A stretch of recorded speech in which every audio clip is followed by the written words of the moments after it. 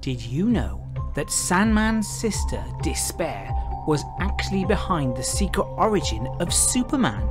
Endless Nights was a graphic novel follow up to the Sandman series. It contained a selection of short stories. The story, The Heart of a Star, is set in the beginning of the universe where the members of the Endless meet the physical embodiment of stars.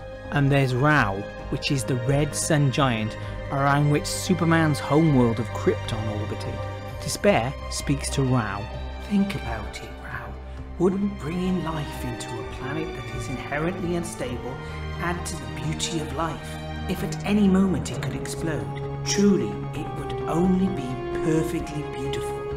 A perfect piece of art. If one single life form escaped, to remember, to mourn, to despair. So there you go. It was all her fault you're an orphan, Clark.